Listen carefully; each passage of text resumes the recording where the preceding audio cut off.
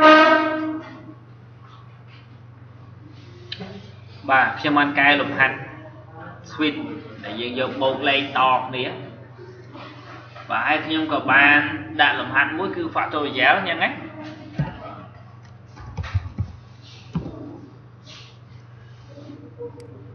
ការងារមួយពួកយើងធ្វើថារ៉ាន់មកគឺឲ្យ inter n n នឹងស្មើ5ឲ្យវាឃើញ5 factorial ស្មើនឹង1 គុណនឹង2គុណនឹង3គុណនឹង4គុណនឹង5ស្មើ120បាទលំហាត់នេះឃើញតែពួកយើងធ្វើត្រូវសង្ឃទាំងអស់គ្នាបាទតែអ្នកដែលយល់ហ្នឹងគឺមិនច្រើនដល់អ្វីដែលពួកយើងធ្វើត្រូវទេអញ្ចឹងត្រូវខំស្ដាប់ខ្ញុំណាអ្នកដែលដឹងខ្លួនឯងច្បាស់ថាគ្រាន់តែធ្វើត្រូវតែអត់យល់ហ្នឹងបាទសូមមើលខ្ញុំ ការខ្លះថ្មីមុនមុនបង្កើតខ្ញុំមកកែនេះ copy man សិនបាទចុច add បាទឬក៏យើងអាចចុច shift LC C ទៅ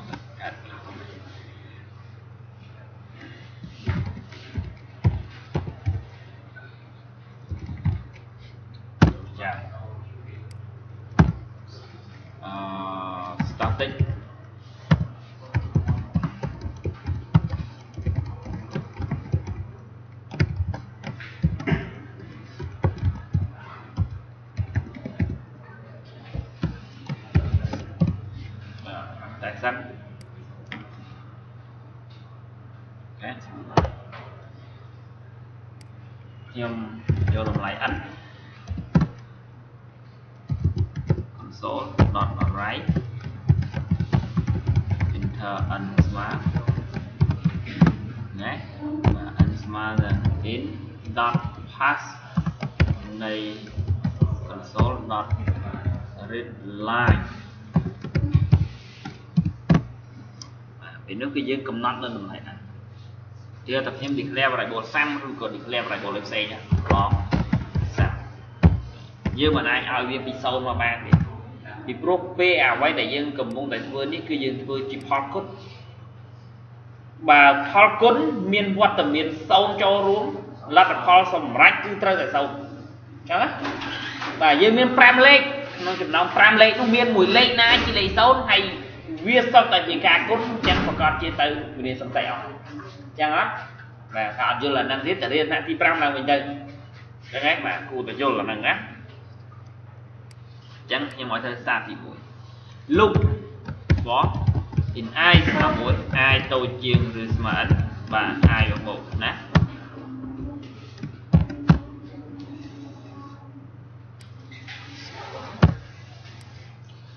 ខ្ញុំចាប់ផ្ដើម output console.write i បាទត ដោយសញ្ញាគុណអញ្ចឹងណាសាមនេះគឺខ្ញុំឲ្យគុណស្មើនឹង i មិនខុសពីមុនទេពីមុនគ្រាន់តែយើងដូរពីបូកទៅគុណដូរពីបូកទៅគុណអញ្ចឹងណាបាទបូកបាទរីអានេះត្រូវតែបូកកដាលមិនអាចសេគុណបានទេពីព្រោះវាជានិមិត្តសញ្ញាតភ្ជាប់អញ្ចឹងណាបាទមិនអាចប្រើគុណបានទេទៀតយើងប្រើ console.write line ទៅចុះបន្តទៅបាទប្រើ slash b ដើម្បីថយក្រោយមួយជំនួសទៅដល់សញ្ញាស្មើហើយបើយើង output តម្លៃសរុបអញ្ចឹងណាហ្នឹងហើយដល់នេះអីទៅទៅណាណៃនោះ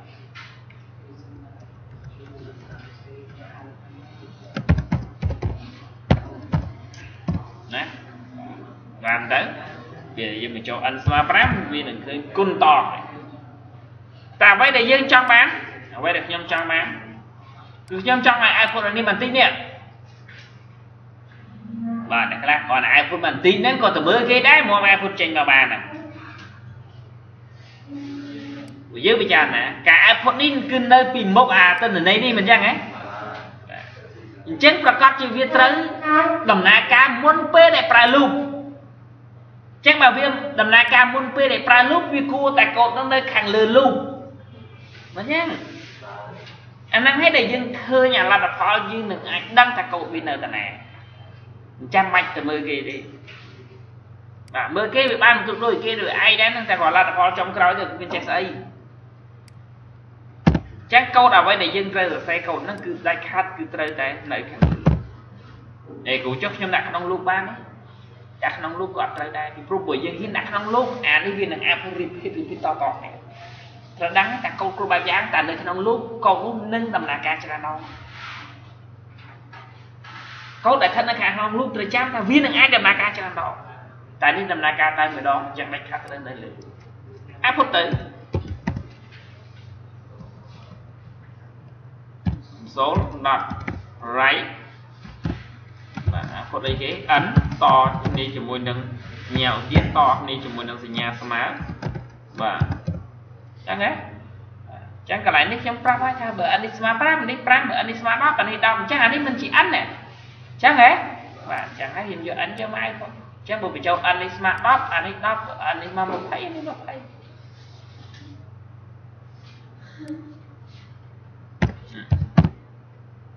តោះនេះបាទឃើញតម្លៃ10ហ្នឹងបាទអានឹងស្មើ5វា5ដែរ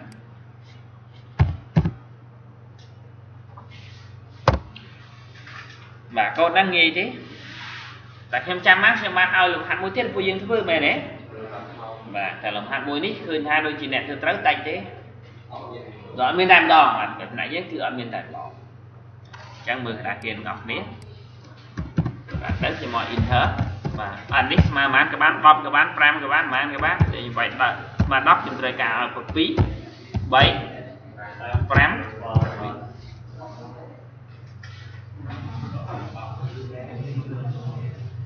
បាទអញ្ចឹងដើម្បីសេកូនឹងចេញពួកយើងត្រូវយល់ពីហេតុផលសិនថាហេតុអីបានវាយ n ស្មើ10ឃើញលេខប៉ុណ្ណឹងពួកយើងសួរខ្លួនឯងមានអ្នកខ្លះអត់ដឹងកត់សេសោះហ្មងអត់ដឹងត្រូវសេពីណាទៅណាមូលហេតុធំបំផុតរបស់ពួកយើងពួកយើងអត់ដឹងថាហេតុអីបានទៅអានប្រលេខប៉ុណ្ណឹងបាទ បើយើងដឹងថាហេតុផលវាហ្នឹងហើយហើយគ្រាន់តែយើងសេកត់មិនចាញ់អាហ្នឹងនៅប្រោះរួចតែបើយើងអត់ដឹងពីហេតុផលសោះអាហ្នឹងគឺប្រោះរួចទេពួកឯងមិនស្មើនៅក្នុងនរុ18ជាន់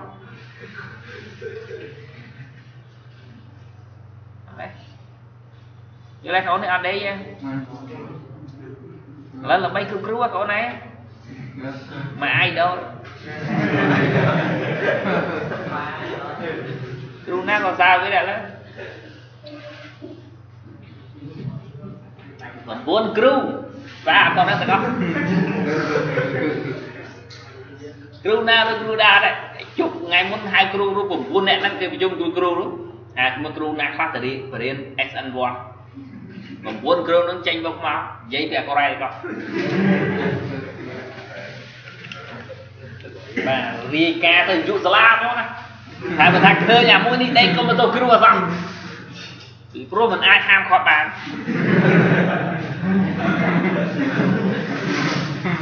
សាលានេះឆ្ងល់ទេហ៎ថៃថៃគាត់ណាកូនសិស្សម្នាក់ដេកហាមគាត់មិនបានថាទៅបីជាប្រាស់យូឡៃមកបរិញ្ញាក៏វាដេកដែរ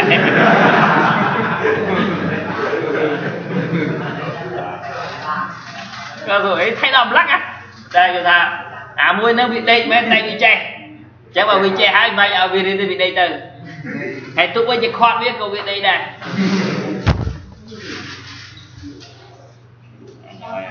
បាទអ្នកផ្សេងទៀតអត់ដេកទេអ្នកគ្មានចេះស្អីទេណែខ្ញុំឲ្យអ្នកទាំងអស់គ្នា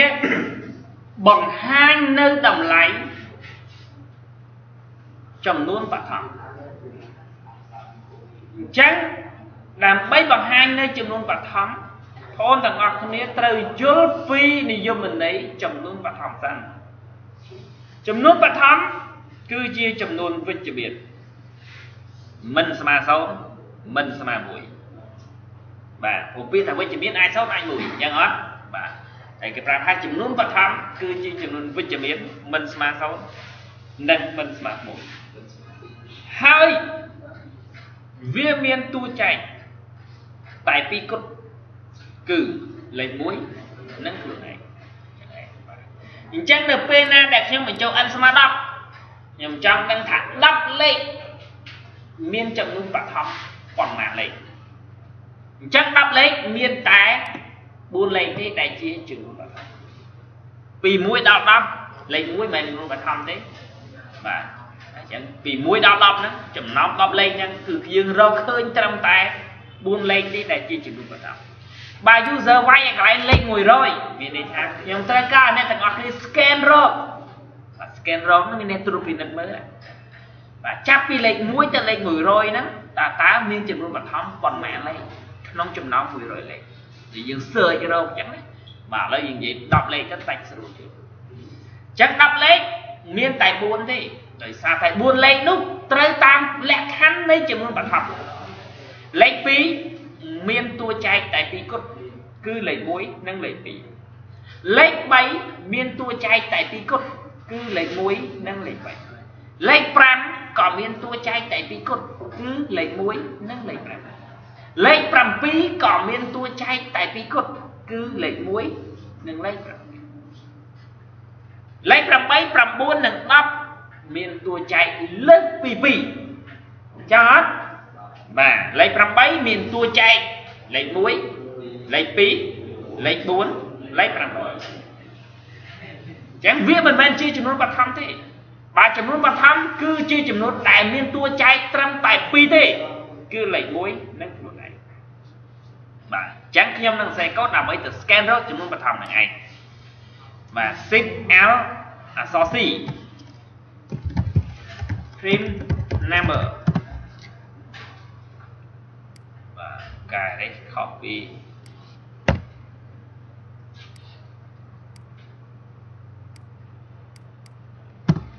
តាតិច white man soul of rip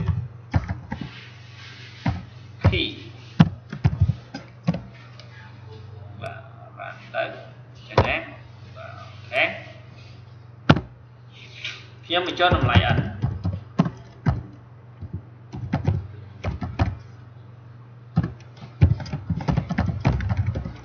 អត់ស្មើអត់ស្មើនឹង in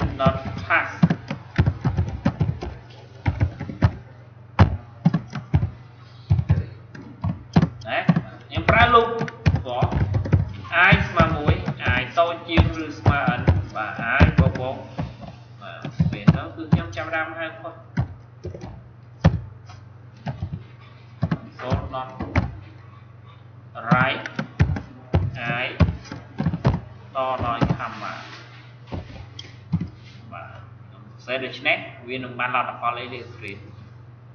សិនណាបើខ្ញុំចូល n ស្មើ10វានឹង output ពី1ទៅ10ខ្ញុំបញ្ចូល n ស្មើ5វានឹង output ពី1ទៅ5តើអ្វីដែលយើងចង់បានយើងមិនចង់បានយ៉ាងទេពេលដែលវាលេខ10នេះខ្ញុំចង់ដឹងថាក្នុងចំណោម10លេខនេះឲ្យច្រោះយកតែលេខបឋមបានហើយអញ្ចឹងខ្ញុំត្រូវការឲ្យពុតត្រឹមតែលេខ2 លេខ4អត់សំទោសលេខ2លេខ3លេខ5លេខ7ទេចឹងហ៎បាទចុះហេតុអីបានឯងពុតមកទាំងអស់អញ្ចឹងមូលហេតុដោយសារតែបន្ទាត់មួយនេះគឺឯងពុតនៅក្នុងលោកហើយមួយបន្ទាត់ហ្នឹងវាអត់មានលក្ខខណ្ឌក្របវាទេចាំមិនត្រូវមានអីគេលក្ខខណ្ឌក្របមួយបន្ទាត់ហ្នឹងបើអត់មានលក្ខខណ្ឌក្របមួយបន្ទាត់ហ្នឹងទេដូច្នេះមួយបន្ទាត់ហ្នឹងត្រូវឯងពុតតាមចំនួនជុំរបស់លោកហើយតែ គាត់ពួកយើងនឹកអត់ឃើញថាត្រូវលាក់លក្ខខណ្ឌហ្នឹងហីណែណែអញ្ចឹងខ្ញុំបញ្យល់ព្យាយាមបញ្យល់ពួកយើងពីចំណុចតូនមកអញ្ចឹងថាមួយបន្ទាត់លក្ខខណ្ឌត្រូវមានលក្ខខណ្ឌក្របវាបើគ្មានលក្ខខណ្ឌក្របវាទេឬក៏លក្ខខណ្ឌនៅពីលើវាបើថាលក្ខខណ្ឌនៅពីលើឬក្របចាំមិនត្រូវនៅពីលើវាចឹងបើអត់មានលក្ខខណ្ឌក្របវាឬក៏នៅពីលើវាទេចាំមួយបន្ទាត់ហ្នឹងនឹងត្រូវអាពុតតាមជំនុំជុំចឹងធ្វើម៉េចដាក់លក្ខខណ្ឌហ្នឹង គួយនឹកត្រឡប់មើលទៅមើលអ្វីដែលយើងចង់បានខ្លួនឯងធ្វើមិនដឹងថាលេខ2នេះមានតួចែក2ដោយសារតែគ្រូក្បាលយើងដើរថាយើងបានទៅផ្ទួងទាត់មួយលេខ1ថា2ហ្នឹងចែកមួយទៅមួយដាច់យើងគ្រូក្បាលយើងទៅផ្ទួងទាត់ដឹងថាលេខ2ហ្នឹងទៅចែកមួយលេខ2ដាច់លេខ3ហាក់ឯបានដឹងថាវាមានតួចែកតែ2 ដោយសារតែគិតខ្លួនឯងគិត3ជុំមិនមែនគិតតែ2ជុំទេគ្រូក្បាលយើងហ្នឹងគិត3យើងគិតថាលេខ1ចែកដាច់នឹង3ហ្នឹងលេខ2មិនមែនចែកដាច់ទេលេខ3ចែកដាច់អញ្ចឹងយើងរាប់ខ្លួនឯងទៅយើងដឹងថាមាន2ក្នុងចំណោម3គឺមាន2អលេខ5នេះបងឯងថាមានមែន មាន2ដែរតែសួរថាបងឯងគិតតែ2ឬក៏បងឯងគិត5គិតទាំង5មែនទេបាទតែពេលខ្លះពួកយើងអត់យល់នៅគួរក្បាលខ្លួនឯងធិតពិតគឺយើងគិត5លេខលេខ1ចែកដាច់លេខ2ចែកអដាច់លេខ3ចែកអដាច់លេខ4ចែកអដាច់លេខ5ចែកដាច់អញ្ចឹងយើងច្រោះយកមកបានត្រឹម2លេខគឺលេខ1ហ្នឹងលេខ5ចឹងមែនទេអីគ្រូគ្រូក្បាលខ្ញុំឆ្លាតណាស់ខ្ញុំមិនគិតដូចគ្រូឯងទេ លេខគ្លៀបដឹងថាមាន2លេខអានហ្នឹងលេខតិចឧទាហរណ៍ថាលេខច្រើនមើលបងដែរធ្វើម្ដងមួយម្ដងមួយអញ្ចឹងហ៎បាទប្រសេសខួរក្បាលយើងពេលខួរក្បាលយើងនឹងកលកុំព្យូទ័រគឺខុសគ្នាដល់ថាខួរក្បាលយើងបើយើងលេខតិចប្រសេសយើងវាលឿនព្រោះអីខួរក្បាលយើងគិតលឿនដោយសារតែវាចងចាំទៅនៅអ្វីដែលយើងធ្លាប់គិតហើយខួរក្បាលយើងគិតអញ្ចឹងណាអ្វីដែលយើងធ្លាប់គិតហើយគឺវាគិតបានលឿនអញ្ចឹងហ៎ ព្រោះអីយើងធ្វើតាមចំណាំឧទាហរណ៍តការងារមួយនេះយើងចំណាំតែធ្វើខុសខុសរហូតគិតលឿនដែរតែគិតលឿនអាផ្លូវខុសដែរដែរហ្នឹងមានណាចឹងហ៎បាទអញ្ចឹងគូក្បាលយើងគឺចឹងអាណាដែលយើងធ្លាប់គិតហើយហ្នឹងគឺយើងគិតលឿនណាតែអ្វីដែលអត់ធ្លាប់គិតក៏ដែរនឹងធ្វើតាមសភាវៈកណ្ដីតែគិតម្ដងមួយម្ដងមួយដែរចឹងដូចគ្រូបង្រៀនបរៀនពួកយើងថ្នាក់ទី1រៀនបូកលេខចឹងបាទ យកអឺ5បូក2អញ្ចឹងគាត់ឲ្យរាប់ទៅយក5ទៅអញ្ចឹងរាប់ឡើង5 6 7អញ្ចឹងទេបាទយើងដឹងខ្លួនឯងច្បាស់ណាស់តែ5បូក2 7អញ្ចឹងដោយសារតែយើងធ្លាប់គិតចឹងពួកយើងពិចារណាដើម្បីថាលេខ5ហ្នឹងជាចំនួនបឋមដោយសារតែយើងដឹងថាលេខ5ហ្នឹងមានមេចែកតែ2ដើម្បីដឹងថាមានមេចែកតែ2បងឯងត្រូវគិតហ្មង 5ដងលេខ7បងឯងត្រូវគិតបានដង7ដងឧទាហរណ៍ថាលេខ10លេខ10យើងគិតថាលេខ10នេះមិនមែនជាចំនួនបឋមទេមែនទេតែពួកយើងគិត10ដងដើម្បីដឹងថាវាមានមេចែកប៉ុន្មានពួកឯងតែគិតមានលេខ1មានលេខ2មានលេខ5មានលេខ10អញ្ចឹងហ៎បាទដើម្បីដឹងថាវាមាន4 ជាមេចែករបស់វាពួកឯងត្រូវគិត10ដងបានដឹងថាមាន4ណាបងឯងគិតដល់6ទៀតណោះ6ចែកដាច់7ចែកដាច់8ចែកដាច់9ចែកដាច់10ចែកដាច់អញ្ចឹងលេខ10មានមេចែក4ណោះមានមេចែក4លេខដែលយើងគិតថាវាមិនមែនជាចំនួនបឋមទេអញ្ចឹងហ៎អញ្ចឹងកន្លែងហ្នឹងវាមានន័យអញ្ចឹងវាត្រូវមានលូមួយទៀតបាទហេតុអីបានជាខ្ញុំគិតថាត្រូវមានលូឯង ពីព្រោះដើម្បីដឹងថាលេខ7ហ្នឹងមានមេចែក2បងឯងត្រូវគិត7ដងចឹងអត់បាទដើម្បីដឹងថាលេខ5នឹងមានមេចែក2បងឯងមិនមែនត្រូវគិតតែ2ដងទេបងឯងពិតជាគិត5ដងចឹងអត់បាទចឹងបើយើងគិត5ដងចឹងត្រូវមានលុបចឹងហ៎ត្រូវមានលុបគ្របពីលើវាហ្នឹង លុបលុបអីអាយយើងមានហើយត្រូវស្អីជេចឹងហ៎បាទលូកជេនេះត្រូវស្តាតពីម៉ានអឺពួកយើងពិចារណាបាទដើម្បីដឹងថាលេខ5នឹងមានមេចែកប្រមាណឧទាហរណ៍យើងចង់រាប់ថាលេខ5នឹងមានមេចែកប្រមាណយើងត្រូវរាប់ពី1 2 3 4 5ចឹងអត់បាទហើយ7មានមេចែកប្រមាណយើងត្រូវរាប់ 1 2 3 4 5 6 7អញ្ចឹងហ៎បាទអញ្ចឹងឧទាហរណ៍ថា i នឹងស្មើ1ឬក៏ i នឹងស្មើប្រមាណយើងត្រូវរាប់តាមចំនួនរបស់វាអញ្ចឹងឲ្យ j យើងគឺ start ទី1 j យើងត្រូវតែតូចជាងឬស្មើ i បាទ j យើងគឺអញ្ចឹងហ៎បាទដាក់នេះនៅខាងក្រៅសិន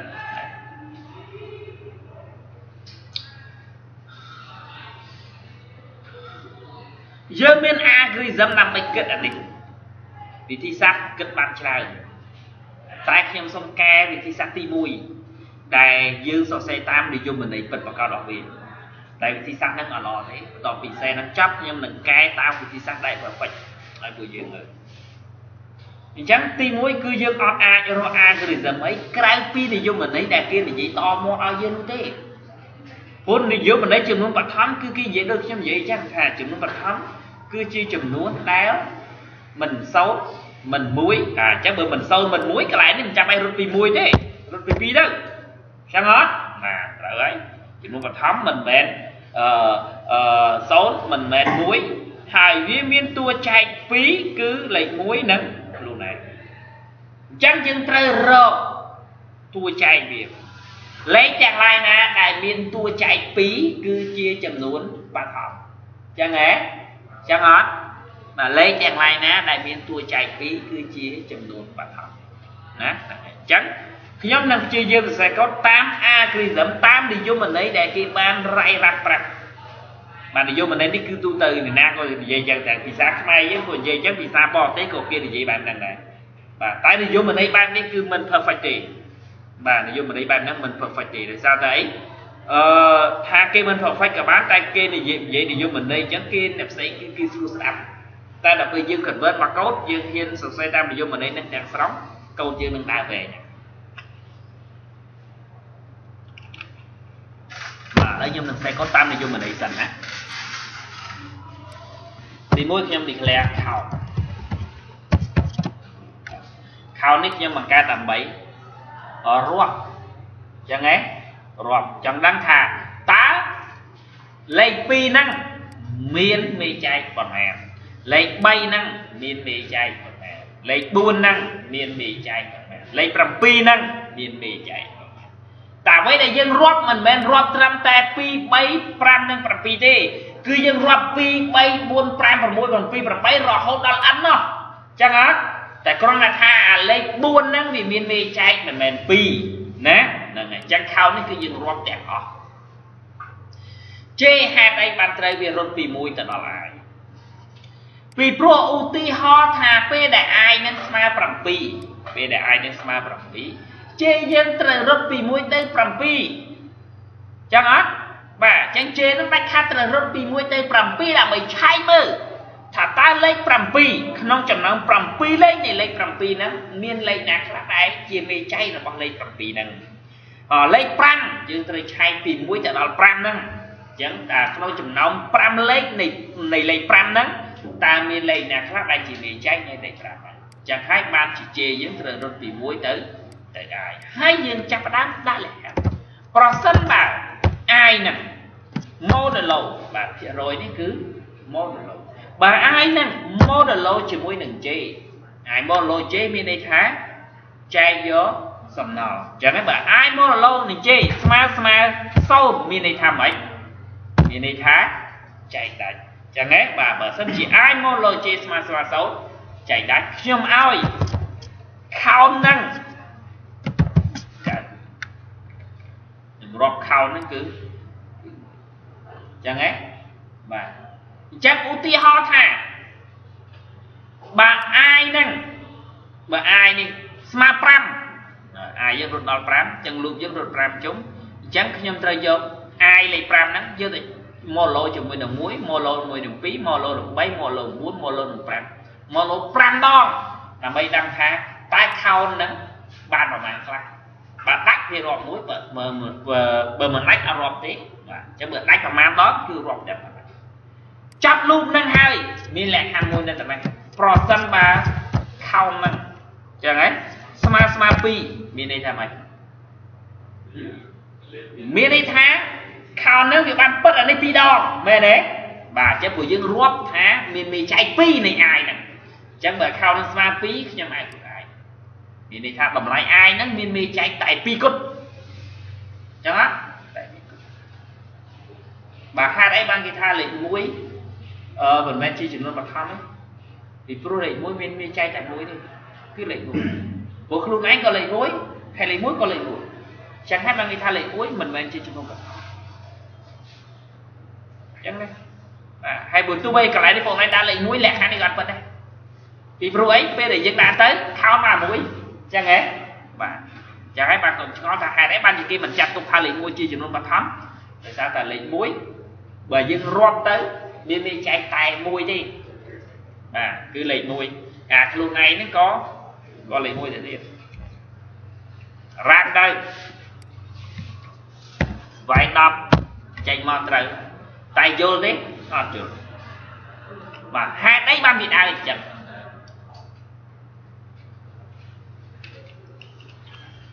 ត្រូវយល់ថាហេតុអីបានជាវាដើរអញ្ចឹង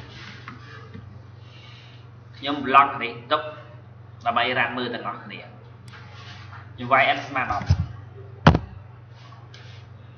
ចឹងហ៎បាទខ្ញុំវាយ n យើង10ចឹងហ៎បាទ i យើងស្មើសូមហ្នឹងបងតែពេលដែលឆ្លងកាត់មួយ statement នឹងចាប់គឺ i យើងកើនប៉ុន្មានកើន i យើងនឹងចាប់តម្លៃស្មើ2អញ្ចឹងហ៎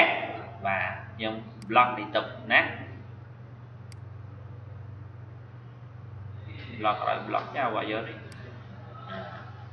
ចេះឆ្លងកាត់មួយ statement នឹងផុងទៅ i យើងនឹងមានតម្លៃស្មើ 2mình ឆ្លងឲ្យមើលបឹងអញ្ចឹងហ៎បាទ i មានតម្លៃស្មើ2អញ្ចឹងហ៎បាទបានវាយក i ស្មើ2ហ្នឹងទៅផ្ទៀងផ្ទាត់ជាមួយទៅនឹង n បាទ n ស្មើ10លក្ខខណ្ឌហ្នឹងជាលក្ខខណ្ឌពិតអញ្ចឹងហ៎បាទលក្ខខណ្ឌជាលក្ខខណ្ឌពិតខ្ញុំនេះអត់ block ឲ្យឯងហ្នឹងគាត់យកនេះកងវាបាត់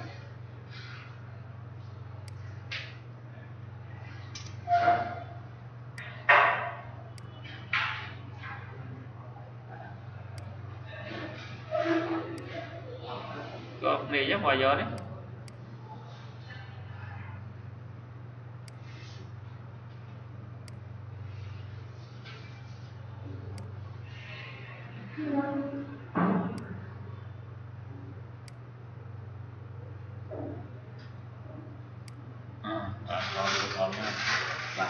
2ណាលក្ខខណ្ឌនេះពិតបើលក្ខខណ្ឌនឹងពិតវាចំណាប់ដើរចូលម កដល់ក្នុងខោនយើងគឺស្មើមកស្មើសោបាទមកខោនស្មើសោអញ្ចឹងណាដំបូងណាបាទលោកនេះរត់បានជុំពួកយើង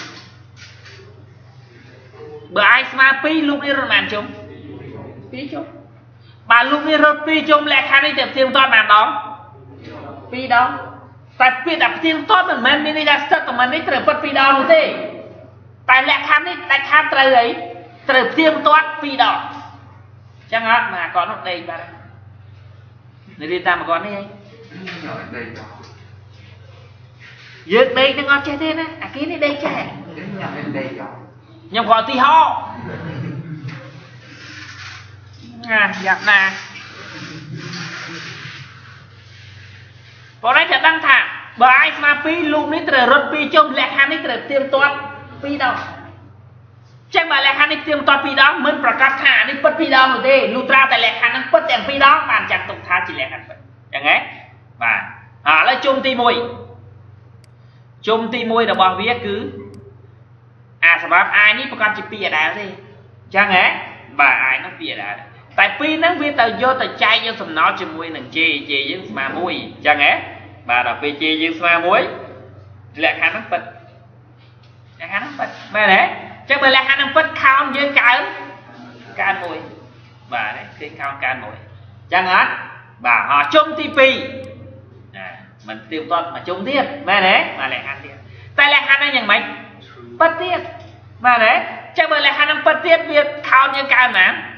កើតមួយទៀតអញ្ចឹងខោនយើងបានចុះហេតុអីបានជាទាំងពីរជុំពិតទាំងពីរអញ្ចឹងពីព្រោះអាយយើងស្មើពីរពីរហ្នឹងតែទៀមទាត់ជាមួយនឹងមួយពីរចែកមួយមិនដាច់ហើយពីរចែកពីរមិនដាច់ដែរ មែនទេបាទអញ្ចឹងហើយបានវាពិតពីរដងអញ្ចឹងបើខោនយើងស្មើពីរ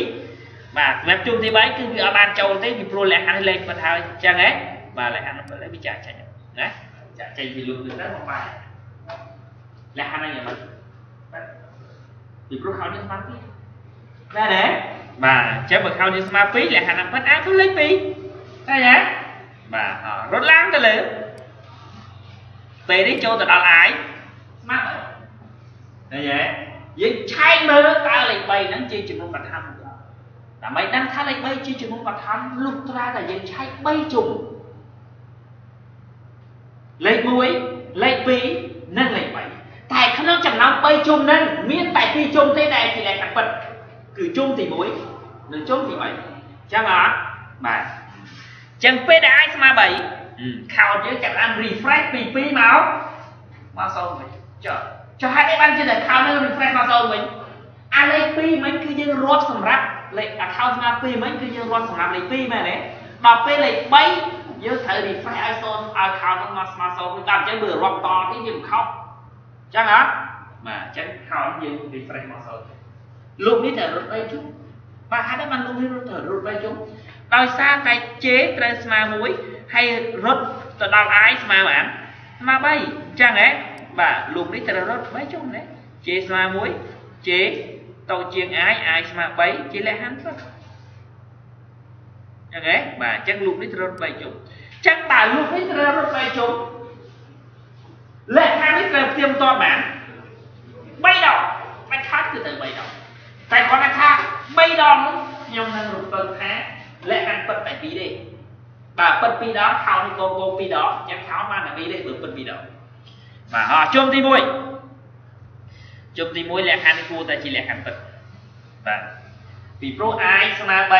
3 j ស្មើ1លក្ខខណ្ឌហ្នឹងជាលក្ខខណ្ឌពិតបាទអញ្ចឹងខោមយើងបាន1អញ្ចឹងណាបាទអជុំទី2ជុំទី2ទៀងគាត់លើកទី2ទៀងគាត់លើកនេះធំណាស់ថាពិតអត់ខ្ញុំថាពិតទេមូលហេតុដោយសារតែ i យើង ស្មើ3 j ស្មើស្មើ2លក្ខខណ្ឌជាលក្ខខណ្ឌមិនពិតអញ្ចឹងបើលក្ខខណ្ឌហ្នឹងជុំទី2ជាលក្ខខណ្ឌមិនពិតវាមិនបានឲ្យខោកាយនេះខោយើងនៅតែមួយដដែលអញ្ចឹងហ៎បាទអជុំទី3ជាជុំចុងក្រោយទៀងគាត់ជុំចុងក្រោយជុំចុងក្រោយពួកយើងគិតថាគឺជាលក្ខខណ្ឌប៉ិតពីព្រោះ3 modulo នឹង3គឺដាច់ប៉ិតអញ្ចឹងហ៎បាទអញ្ចឹងជាលក្ខខណ្ឌប៉ិតអញ្ចឹងខោនេះកើកើអញ្ចឹងហ៎បាទបាទ ណាបាទអញ្ចឹងលូកនេះរត់តែ3ជុំទេតែដើម្បីចាចេញវាត្រូវអាចវាត្រូវអាជេនេះទៅកលមួយទៀតទៅ4ធ្វើឲ្យលក្ខខណ្ឌលែងលែងពិតអញ្ចឹងហ៎បាទតែលក្ខខណ្ឌលែងពិតលែងចប់ហើយហើយខ្ញុំនិយាយថាលុង3ជុំទៀងទាត់នេះ3ដងតែពេលដែលទៀងទាត់អាជេនេះនៅឡើងដល់លេខ4បើលេខអាជេនឹងលេខ3ដល់វានៅតែដើរទៅឡើយអញ្ចឹងហ៎បាទអញ្ចឹងកន្លែងនេះចាក់ចេញពីជេនឹងមកធ្វើឲ្យខោនយើងគឺស្មើពី លក្ខខណ្ឌពិតវានឹងអាចពុតលេខប៉ុន្មានលេខ3លើ screen ចឹងនៅលើ screen យើងឃើញអីខ្លះហើយលេខ2លេខ3ឃើញទេបាទចូលទៅដល់មួយទៀតចូលលេខ4យើងមើលមើលចូលដល់លេខ4ឃើញទេ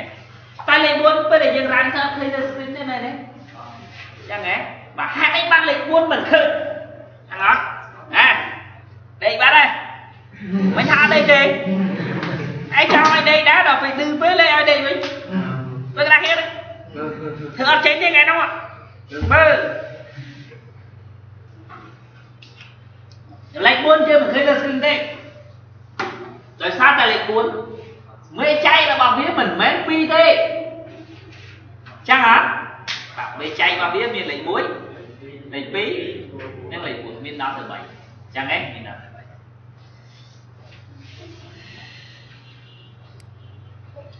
និងលេខ4មាន10ទៅ3ចឹងហ៎មាន10ទៅ3នៅពេលណាដែល i ស្មើ4 i ស្មើ4លូក j ត្រូវរត់បានជុំលូក j នេះត្រូវរត់4ជុំពីព្រោះលូក j នេះត្រូវរត់អាស្រ័យលើ i បើ i ស្មើ2លូក j រត់2ជុំបើ i ស្មើ3លូក j រត់3ជុំបើ i ស្មើ4លូក j រត់4ជុំវាមិនខ្វៃពី n ទេបើ n ស្មើ5លូក j រត់បានជុំ i រត់5ជុំអញ្ចឹងតែវារត់ពី2មកគឺប្រកាសជាអត់អត់អត់អត់មួយម្ដងមកជុំអញ្ចឹងអញ្ចឹងអត់បាទណា តែតាហេតុអីបានជាលោកអាយនេះអត់ប្រែប្រួលដោយសារតែអិនយើងបញ្ចូលតែម្ដងចប់ចឹងអត់ចឹងលោកជេនេះអត់ប្រែប្រួលទេបាទតែលោកអាយលោកជេអឺសំដៅលោកអាយនេះអត់ប្រែប្រួលតែលោកជេត្រូវប្រែប្រួលដោយសារតែវារត់តាមអីគេតាមអាយអាយម្ដង2ម្ដង3ម្ដង4អញ្ចឹងវារត់ប្រែប្រួលណាវារត់ប្រែចឹងអាលោកដែលស្ថិតនៅខាងក្នុងគេអញ្ចឹងលោកហ្នឹងគឺជាលោកប្រែប្រួលអាស្រ័យទៅលើខាងលើ ហើយលើខាងលើនេះវាទៅប្រែប្រួលអាស្រ័យទៅលើតម្លៃអបើតម្លៃអនេះប្រែប្រួលដែរវានឹងប្រែប្រួលតាមដូចគ្នា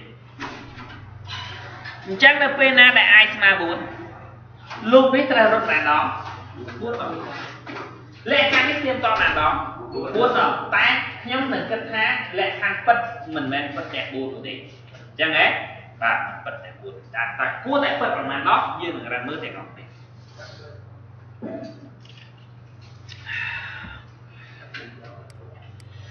បាទ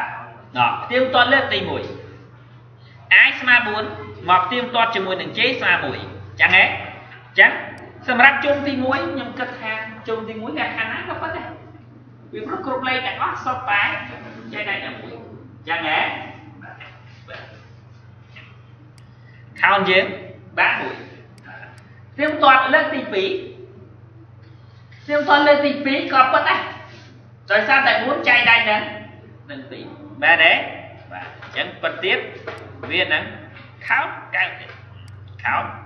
បានលេខ2អញ្ចឹងហ៎បាទទៀងទាត់លើកទី3លើកទី3ខ្ញុំថាលេខប៉ុណ្ណាដោយសារតែជេយើងស្មើ3ហើយ i ស្មើស្មើ4អញ្ចឹងលក្ខខណ្ឌនឹងអត់ពិតទេបើលក្ខខណ្ឌនឹងអត់ពិតទេវាខោនអត់អត់កើទេវាខោនអត់កើទេបាទទៀងទាត់លើកទី4ជាលើកចុងក្រោយលើកចុងក្រោយ i យើងស្មើ4 j ស្មើ4លក្ខខណ្ឌនឹងយ៉ាងម៉េចហើយខ្ញុំក៏គិតថាគ្រប់លក្ខខណ្ឌទាំងអស់អាលក្ខខណ្ឌចុងក្រោយនេះវិធីតែវាពិតមែនទេអាហ្នឹងតែយើងចាប់ដើមមើលឃើញកូនយើងគឺមានកបាក់ខាតទី2ដែរណាតែចាប់ដើមឃើញកូនហ្នឹងមានកបាក់ខាតតែយើងដឹងច្បាស់ហើយថាជុំដំបូងពិតអាជុំចុងក្រោយឥឡូវមើលសិន ចឹងជុំចុងក្រោយវាពិតដោយសារតែ4ម៉ូឡូនឹង4ទៀតយកទៅបាទឃើញទេចូលមកដល់នេះហេតុអីបាននឹងឲ្យខ្លួនលេខ4ដោយសារតែខោយើងមិនស្មើ2ទេខោស្មើដោយសារតែយើងរកឃើញថាលេខ4មានមេចែកដល់ទៅ3ដូច្នេះលេខ4មិនមែនជាចំនួនបឋមទេលេខ4ដែលយើងបំរុងនឹងឯខុសហ្នឹងគឺ មិនបានពិតទេអញ្ចឹងវាមិនបានឯខុសលេខ4ហ្នឹងឡើយឃើញទេបាទវារំលងទៅឯស្មើ5ចឹងឯងអដល់ពេលឯស្មើ5លោកនេះរត់បានចុះ5ចុះទៀមតលក្ខខណ្ឌនេះមកដល់5ដងចឹងហ៎ទៀមតលក្ខខណ្ឌចឹងបើផ្ទៀងផ្ទាត់លក្ខខណ្ឌនឹង5ដងតើតើខោននឹងស្មើប្រមាណជុំទី1លក្ខខណ្ឌពិ តពិតមែនទេបាទ5ម៉ូឡូ1ពិតណា5ម៉ូឡូ1ពិតណាដល់ពេល5ម៉ូឡូនឹង2ពិតទេអត់ពិតទេ5ម៉ូឡូនឹង2មិនពិតទេបាទជុំទី3 5ម៉ូឡូនឹង3ក៏អត់ពិតដែរចឹងអត់បាទ5មកលោនឹង3អត់ពិតទេយ៉ាងហ្នឹងបាទជុំទី4 5 មកលោនឹង4ក៏អត់ពិតដែរយ៉ាងហ្នឹងបាទជុំទី5 5មកលោមួយ5វាមិនពិតអញ្ចឹងខោនបោកបោកយ៉ាងហ្នឹង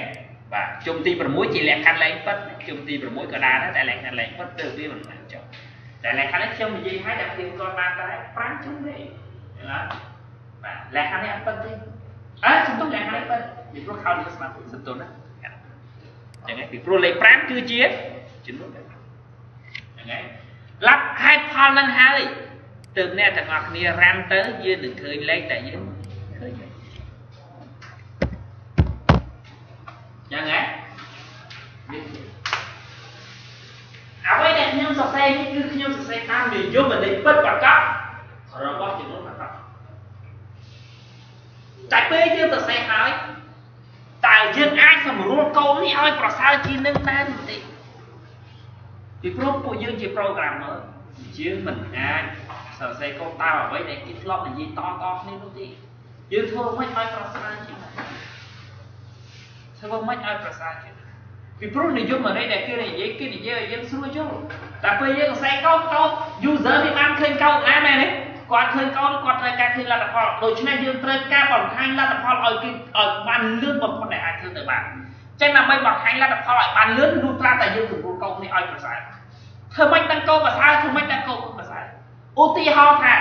ដើម្បីដឹងថាលេខ10មិនមែនជាចំនួនប្រកប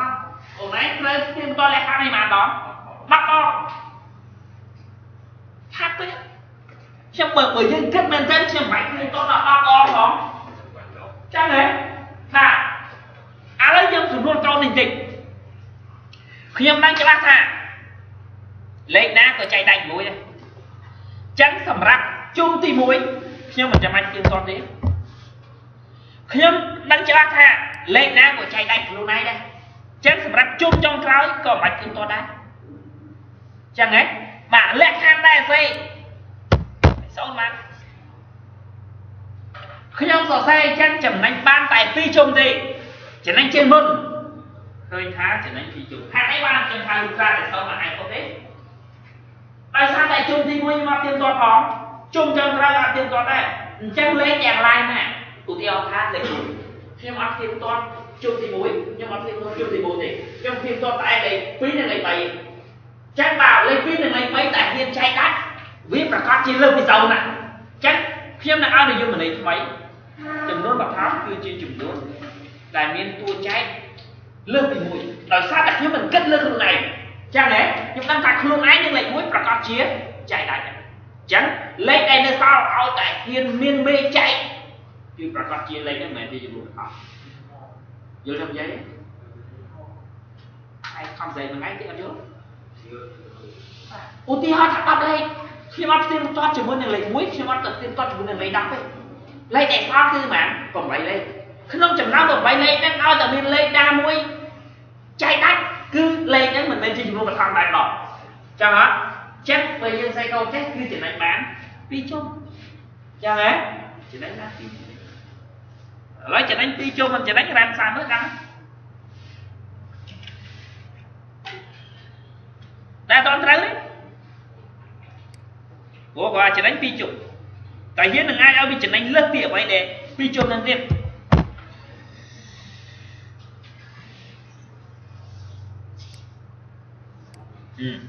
នៅពេលដែលអាចស្មើ2នៅពេលដែលអាចស្មើ2លោកនេះអត់ដើរដែរដល់ព្រោះយើងថាចំណេញ2ជុំពេលមុនពេលដែលអាចស្មើ2លោកនេះដើរមកជុំ2ជុំមែនទេ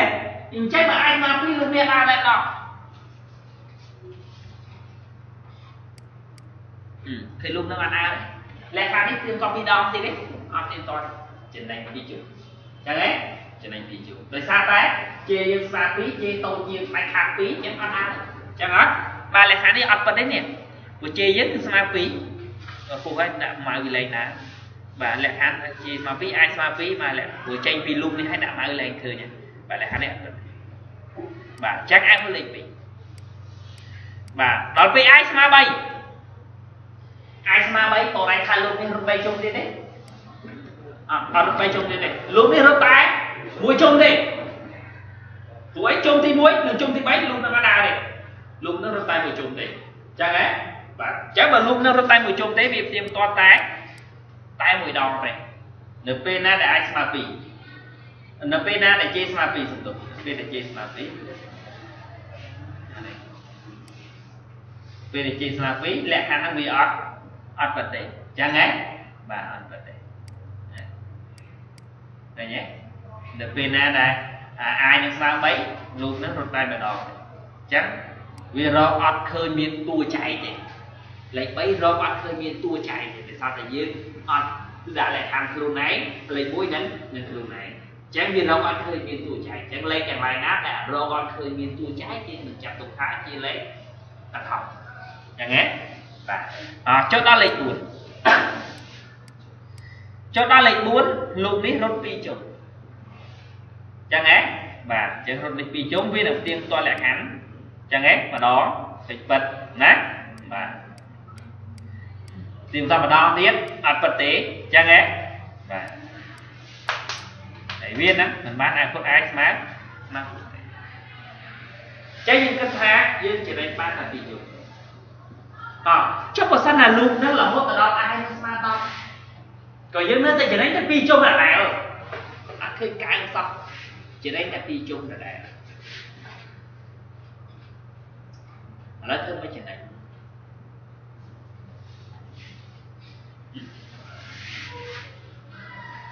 ខុសតិចទៀតមិនចំណេញ2ជុំចំណេញច្រើនហ្មងធ្វើមិនចំណេញ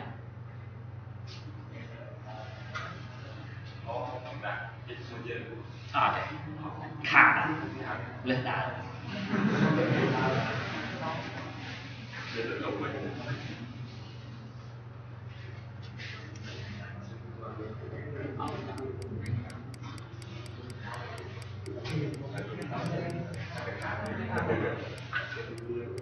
này, đây là asma và muối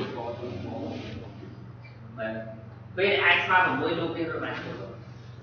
Bốn chúng không? các bạn. Ba. ស្មើ6លោកវារត់បាន4ជុំមកចឹងហ่าបាទ4ជុំហើយយើងនឹងឃើញខោនេះស្មើមែនឯងស្មើមួយខោនេះស្មើមែន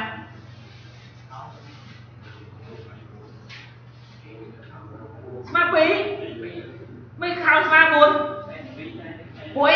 អើបើវាទៀងតពីមួយរហូតដល់ខ្លួនឯងនឹងឃើញ4មែនតែវាវាទៀងតពីមួយទៅខ្លួនឯងណាអើចាំនេះថាខោស្មើ2មែនទេបើតែខោស្មើ2ក៏លក្ខណៈ2ព្រោះយើងដល់ខោម៉ាសបានយើងចាត់ទុកខោទីណាចឹងហៅ4ជុំយើងខាតខាតទីកន្លែងនេះ ណែពួកយើងមកដល់តនេះគ្រាន់តែខោស្មើមួយភ្លាមបើបងឯងគិតថាទៅចាំបាច់ជើងតទៀតទេពួក6ចែកតែ2បាត់ដែរហ្នឹងពួកឯងទៅទៀងទាត់ជាមួយនឹង3ធ្វើអីពួកកូននេះគេអត់ត្រូវការថាតើលេខ6ហ្នឹងចែកមានមេចែកប្រមាណឯណាគេមានត្រូវការរងចំនួនមេចែកឯណាគេគ្រាន់តែចង់ដឹងថាតើលេខហ្នឹងចំនួនបឋមឬក៏មិនមែនតែប៉ុណ្ណោះ អញ្ចឹងបើសិនជាលេខ6ចែកតែ2បាត់ទៅហើយទោះបីជាវាអត់ចែកដាច់នឹង3ក៏ដោយក៏វាក៏មិនមែនជាចំនួនបឋមដែរចឹងហ៎ចែកដាច់ចែកមិនដាច់អត់សំខាន់ទេទៅទីនោះចឹងគាត់តែឃើញខោស្វាមួយប៉ុណ្ណឹងហើយគួរតែឈប់ចែកគិតទៀតទៅឧទាហរណ៍ថាអានឹងស្មើ10អញ្ចឹងអឺអាយស្មើ10បើអាយនឹងស្មើ10យើងឆែកពី2មកគាត់តែ10ចែកពី2ដាច់បាត់ភ្លាមបងឯងគឺចាំបាច់តែទៀងទាត់ជាមួយទៅនឹង អឺអឺ5ទៅហើយចឹងហ่าតែខំរត់ទៅទៀងទាត់ជាមួយនឹង5តែវាខាត់ពេលទៀងទាត់មួយ3មួយ4មួយ5ខាត់ពេលមែនទេចឹងហ៎អញ្ចឹងកន្លែងនេះពួកយើងពិចារណាមកបាទអត់ចាំបាច់ប្រើលក្ខខណ្ឌទៀតទេលក្ខខណ្ឌហ្នឹងមានអីតាបើសិនជាខោនឹងកើភ្លាមប្រេកមកចាំបាច់ប្រើលក្ខខណ្ឌទេចាំបាច់ដល់លក្ខខណ្ឌអីខោស្មាស្មាមួយប្រេកទេ ចាក់ឲ្យតែលក្ខខណ្ឌហ្នឹងពិតពីប្រេកតែណាប្រេកនៅលើខោតែវាប្រេកនៅលើខោខោមកបានមកកើទេអញ្ចឹងលក្ខខណ្ឌនេះកាត់ពីពិតឡូតអញ្ចឹងហ៎ចាំចាំវាចង់ប្រើលក្ខខណ្ឌមិនប្រហែលបាទបានតែប្រើទៅអីទៀតហើយយើងកាត់បន្ថយកុំឲ្យវាទៀមតលក្ខខណ្ឌណាបងឯងដឹងទេមាត់គ្មានទេបើចូលមកមានតែឆៃស្រួលចូលលឿនអត់ព្រោះយើងអត់ចង់ឲ្យមិញហ្នឹងណាបើសិនជា អាយើងស្វា5គឺតែទៀមត5ដងយើងព្យាយាមកុំឲ្យទៀមតដល់5ដងយើងកាត់អាទៀមតខ្លួនឯងចោលយើងកាត់អាទៀមតលេខ1ចោលតាមឲ្យវាទៀមតតែ2មែនទេបាទហើយបើបងឯងដាក់លក្ខខណ្ឌទៀតមិនគំប្រាប់ថាវាខាតហើយមែនហើយយើងកំពុងថាយើងព្យាយាមកុំឲ្យវាដាក់លក្ខខណ្ឌច្រើនពេកយើងបន្ថែមលក្ខខណ្ឌនៅក្នុងករណីដែលលក្ខខណ្ឌអត់គ្រប់គ្រាន់ត្រូវយល់ណា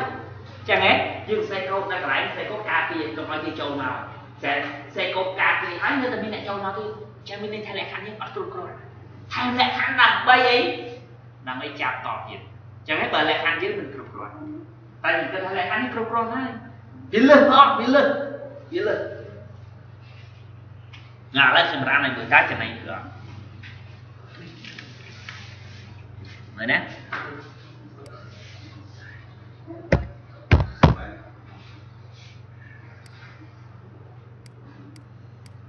សម្រាប់អាយស្មើ2អត់ចំណេញទេដោយសារតែលោកនេះអត់ដើរផងដូចមុនអញ្ចឹងលឿនដូចគ្នាអញ្ចឹងហ៎បាទអាយស្មើ2កូនហ្នឹងវាដើរហើយណាបាទកូននោះវាដើរ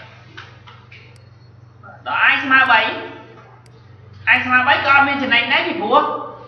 វាផ្ទៀងទាត់ប្រជុំអញ្ចឹងហ៎បាទផ្ទៀងទាត់ប្រជុំ បាទផ្ទៀងទាត់មកលក្ខខណ្ឌលក្ខខណ្ឌហ្នឹងអត់ពិតទេបាទអញ្ចឹងក៏វាអាចប៉ុណ្ណេះអញ្ចឹងហ៎បាទខោនៅទៅស្មើសូន្យដែរ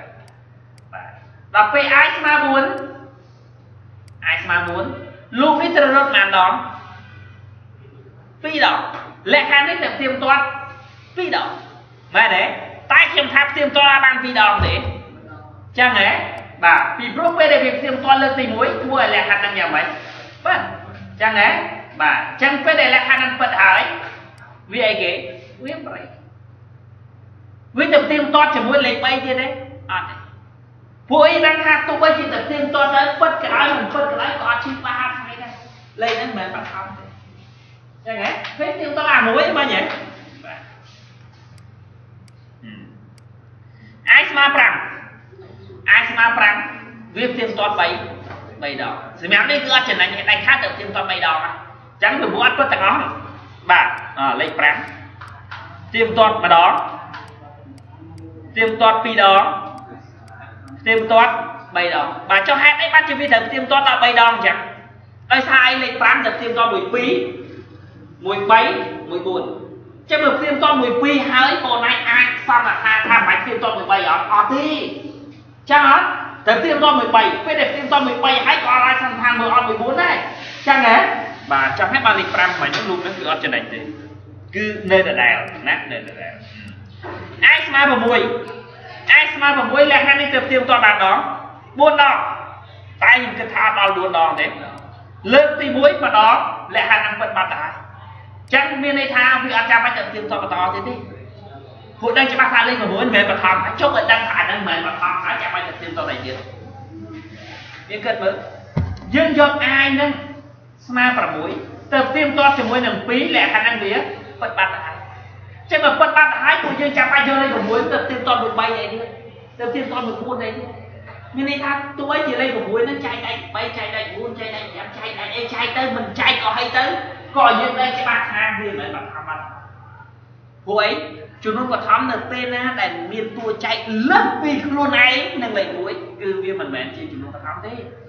ចឹងហ៎បាទហើយគឺលើសលើស1ហ្នឹងមែនទេចឹងអត់ចាំបាច់ទៅរកថាតើវាលើសប្រមាណទេបើកូននឹងគេត្រូវថាថាតើលេខមួយហ្នឹងលឿនប្រមាណអាហ្នឹងចាំបាច់ទៅមុខទៀតព្រោះគេចង់ដឹងអញ្ចឹងហ៎តែលេខហ្នឹងគេមានចង់ដឹងគេចង់ដឹងថាតើលេខហ្នឹងបឋមឬមិនបឋមអញ្ចឹងគាត់តែឃើញលើកលៀបវាមិនវាចាស់ចេញមកដែរឃើញទេវាត្រូវទៀមតន់4ដងទៀមតន់តែម្ដងហ្នឹងចាក់បាត់តែ បាទលេខ7លេខ7គឺអត់ចំណេញទេដោយសារឯងលេខ7ត្រូវទៀមតន់ឲ្យអស់អញ្ចឹងហ៎ត្រូវទៀមតន់អស់បាទលេខ7ទៀមតន់អស់ណាហ្នឹងហើយបាទចូលដល់លេខ8លេខ8ក៏ចំណេញដែរលេខ8ទៀមតន់តែម្ដងទេបើយើងអត់អាប្រេកនេះទេលេខ8នេះទៀមតន់6ដងបានចប់មិនចឹងអញ្ចឹងហ៎បាទតែលេខ8នេះទៀមតន់តែម្ដងទេគឺគឺចេញដែរបាទចូលដល់លេខ9លេខ9ក៏ចំណេញដែរ លេខ9វាត្រូវទៀមតន់ណាដង7ដងចឹងហ៎ឥឡូវយើងមើលកោនេះទៀមតន់អាដងអីមិនដងទេ2ដងអីមិន2ដងទេវាតែទៀមតន់មួយពីរចឹងអត់បាទ2ហើយ3អាទៀមតន់2ដងត្រូវ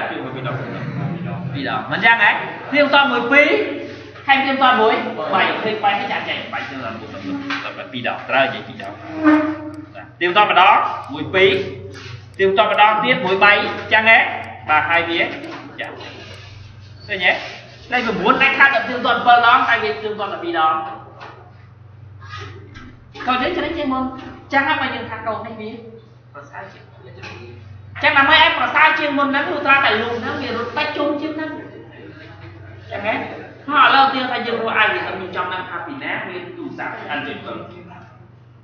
ហ្នឹងវារត់តិចជុំជាងហ្នឹងចឹងហ៎ហើយឥឡូវទៀតថាយើងរកអាយវាខ្ញុំចង់ដឹងថាពីណាមានទូរស័ព្ទអានចេញទៅហើយបើយើង search មាន10នាក់យើង search ទាំង10នាក់អាហ្នឹងយើងគិតថាអត់ចំណេញទេមែនទេហើយបើយើងដឹងចំណុចពិសេសថាមុខអាគាត់នេះស្រែគួរគួរតែមានអញ្ចឹងសើចមុខអានេះស្រែស្រែមុនអាចឹងអាចឃើញវាលឿនជាងចឹងអត់បាក់ដឹងថាព្រោះជីសាឡាមកអញ្ចឹងវាប្រកាសជាបើទូរស័ព្ទទំនើបអញ្ចឹងមិនអាចឆៃវាទុកឡើងអាភាពឆៃអ្នកផ្សេងសិនឃើញទេអានេះតែយើងអាចវាចឹងយើងចាំដឹងថាយកអានចេញទៅដាក់នៅក្នុងហ្នឹងប្រកាសជាមាន អញ្ចឹងយើងកុំឆែកតាមលេខវាឆែកនៅមុខអាដាទៅនៅក្នុងវាហ្នឹងចឹងហ៎អាដូចគ្នាដល់ទីហោ cũng nghe là play với mình bữa nào cho đại nhiên អត់អត់ចំណេញហើយអត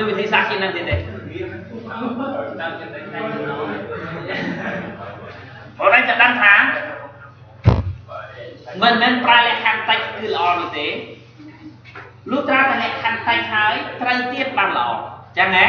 បាទតែបើលក្ខខណ្ឌយើងតិចហើយវាគ្រោះថ្នាក់សុខចិត្តប្រើលក្ខខណ្ឌច្រើនប្រសើរជាទៅចាំចឹងហ៎ចឹងណាមើលអាកូនយើងប្រសើរទៅមើលឲ្យលុបនឹងវារត់បាច់ជុំលុបនឹងវារត់យល់ទេអាដាមគាត់នេះសម្រាប់ស៊ីសាវ័ននេះ ពួកយើងស្អីឲ្យតែត្រូវខ្ញុំឲ្យបន្ទូហើយតែចាប់ពីធូពីស្រីទៅណាពួកឯងតែសេត្រូវខកខ្ញុំឲ្យបន្ទូដែរកំហីគ្រូខ្ញុំសេត្រូវតាមត្រូវដែរគ្រូតែកូននឹងលើជុំណាចឹងហ៎បាទគឺខ្ញុំនិយាយតែខ្ញុំនិយាយថាកូនហ្នឹងខ្លួនឯងលើជុំហើយកូនហ្នឹងខ្លួនឯងលើលក្ខខណ្ឌហើយត្រូវតែលើជុំលើលក្ខខណ្ឌអត់បានទូទេតែណាស៊ីសាវ័នអត់អីសេមិនសេឲ្យតែត្រូវចឹងអត់បាទឥឡូវរៀនគិតចឹងដូចពួកយើង ពួកយើងរៀនតែតាមកាឈើដែរមែនទេតែតែតាមកាឈើរៀនរៀនពួកយើងនៅអាចរៀនមិនមែនទេតែគាត់ថាពួកយើងអត់ដឹងថាយកមកផ្សាយមិនទេចឹងហើយបាទមុខវិជ្ជាស៊ីសាវ័នខ្ញុំព្យាយាមលីងជាមួយគ្នាហ្នឹងឲ្យពួកយើងចេះគិតចឹងចឹងហ៎បាទអាមុខវិជ្ជានេះគឺបង្រៀនឲ្យយើងចេះគិតពិចារណាដល់ឥឡូវមកគ្នាទៅអនុវត្តជាក់ស្ដែង